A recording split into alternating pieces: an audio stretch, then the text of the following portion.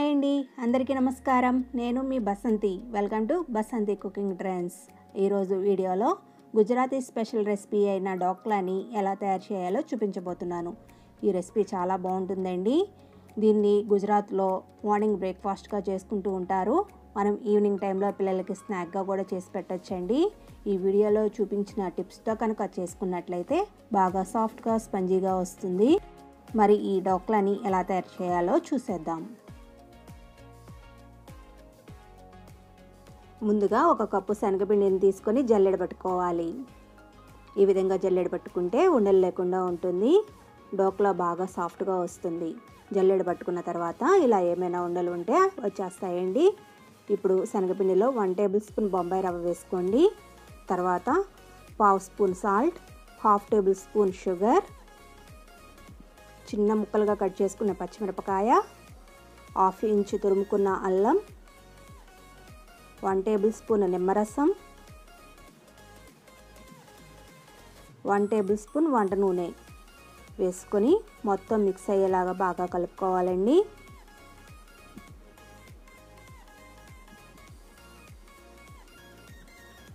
ఇప్పుడు డోక్లా అనేది కలర్ఫుల్గా రావడానికి పావు స్పూన్ పసుపు కూడా వేసుకొని కలుపుకోండి. ఇలా కలుపుకున్న తర్వాత కొంచెం కొంచెం వాటర్ యాడ్ చేసుకుంటూ పిండిని రెడీ చేసుకుందాం. పిండి అనేది మరీ చిక్కగా లేదా మరీ పలుచగా చేసుకోకూడదండి. అందుకనే కొంచెం కొంచెం వాటర్ వేసుకుంటూ కలుపుకోండి. ఇలా రెండు నిమిషాలు బాగా కలపండి. ఎంత బాగా కలిపితే అంత బాగా డోక్లా అనేది సాఫ్ట్గా వస్తుంది. ఇప్పుడు మూత పెట్టి పదిహేను నిమిషాలు పక్కన పెట్టుకుందాం. ఈలోపు స్టవ్ మీద కుక్కర్ని కానీ స్టీమర్ని కానీ లేదా ఏదైనా బాండీని కానీ పెట్టుకోండి. అందులో ఒక అర లీటర్ దాకా వాటర్ పోసుకొని వేడి చేయండి. ఇప్పుడు డోక్లాని తయారు చేయడానికి ఏదైనా కేక్ టిన్నుని కానీ లేదా మామూలు గిన్నెను కానీ తీసుకొని అందులో వన్ టేబుల్ స్పూన్ ఆయిల్ వేసి గ్రీజ్ చేసుకోండి. పదిహేను నిమిషాలు అయిన తర్వాత మూత ఓపెన్ చేసి అందులో one table spoon baking powder పావు టేబుల్ స్పూన్ బేకింగ్ సోడా వేసి థర్టీ టు ఫార్టీ సెకండ్స్ పాటు ఒకే డైరెక్షన్లో ఫాస్ట్గా కలపండి.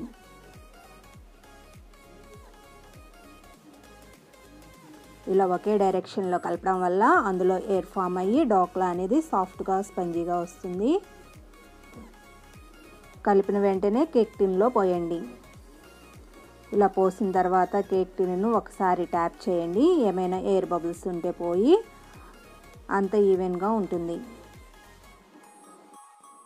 చూడండి వాటర్ మరుగుతున్నాయి కదా అందులో ఒక స్టాండ్ పెట్టుకొని దానిపైన ఈ డోక్లాటిన్ను పెట్టుకోవాలి.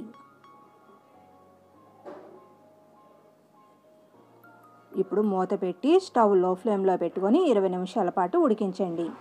మధ్యలో ఓపెన్ చేయకండి ఇరవై నిమిషాలు అయిన తర్వాత చూద్దాం. ఈలోపు తాలింపును రెడీ చేసుకుందాం. ఇప్పుడు స్టవ్ మీద ఒక ప్యాన్ పెట్టుకొని అందులో వన్ టేబుల్ స్పూన్ ఆయిల్ వేసుకోవాలి. ఆయిల్ వేడెక్కిన తర్వాత స్టవ్ మీడియం ఫ్లేమ్లో పెట్టుకొని వన్ టేబుల్ స్పూన్ ఆవాలు చిటికెడు ఇంగువ వేసుకొని ఫ్రై చేసుకోవాలి. అది కొంచెం ఫ్రై అయిన తర్వాత మూడు నాలుగు పచ్చిమిరపకాయలను పొడవుగా ఇలా చిలుకలుగా కట్ చేసుకొని వేసుకోవాలి. తర్వాత ఒక రెమ్మ కరివేపాకు కూడా వేసుకొని వేయించండి.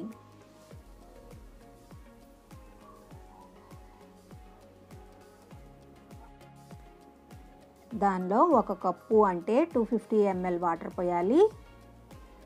తర్వాత అందులోనే half spoon salt one tablespoon sugar వేసి అంతా మిక్స్ అయ్యేలాగా ఒకసారి కలపండి.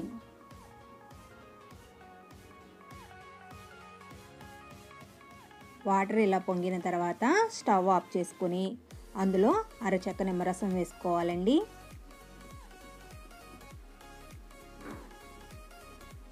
ఇప్పుడు అంతా మిక్స్ అయ్యేలాగా ఒకసారి కలుపుకొని ఇలా రెడీ చేసుకున్న దాన్ని పక్కన పెట్టుకోవాలి. ఇరవై నిమిషాలు అయిన తర్వాత మూత ఓపెన్ చేసి దూత్ పిక్తో చెక్ చేసుకోండి.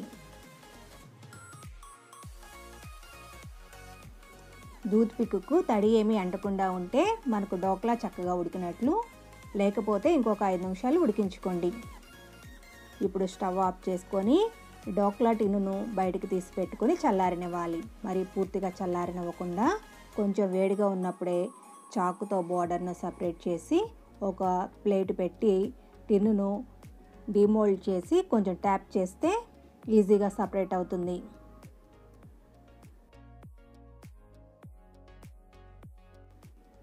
ఇలా చేసిన తర్వాత పైన వేరొక ప్లేట్ పెట్టి రివర్స్ చేయండి.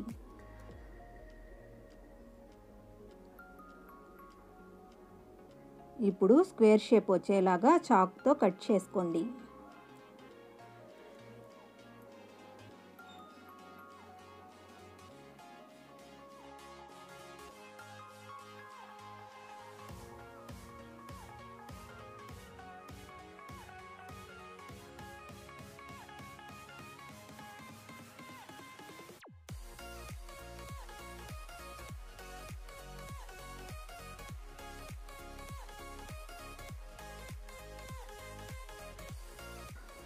చూడండి ఈ డోక్లా ఎంత స్పంజీగా వచ్చిందో. ఇప్పుడు దీనిపైన మనం ముందుగా ప్రిపేర్ చేసుకున్న తాలింపును వేసుకుందాం. తాలింపు వేసుకునేటప్పుడు డోక్లా అనేది కొంచెం వేడిగా ఉండాలి. అలాగే తాలింపు కూడా కొంచెం వేడిగా ఉండాలి. అప్పుడే ఆ వాటర్ని అంతా డోక్లా పీల్చుకొని సాఫ్ట్గా స్పంజీగా ఉంటుంది.